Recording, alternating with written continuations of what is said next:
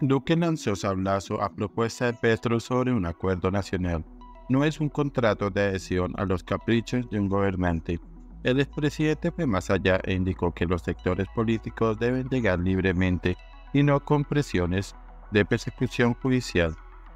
Este sábado 4 de noviembre, el expresidente Iván Duque lanzó un agudo dardo a la propuesta que expresó el mandatario Gustavo Petro sobre consolidar en el país un acuerdo nacional en medio de una fuerte paliza que recibió su proyecto político en las pasadas elecciones del 29 de octubre. Duque, a través de su cuenta personal de X antes Twitter, advirtió sin mencionar directamente a Petro que un acuerdo nacional no debe ser un contrato de adhesión a los caprichos de un gobernante.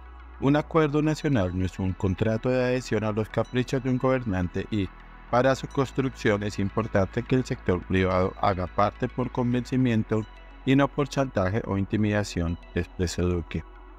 Y avanzó el mensaje que publicó en sus redes sociales, que los sectores políticos lleguen libremente y no presionen de persecución judicial, y que no sea un vehículo para construir impunidad bajo conceptos como punto final, además de no ser una excusa para lavarle la cara al narcotráfico y el terrorismo.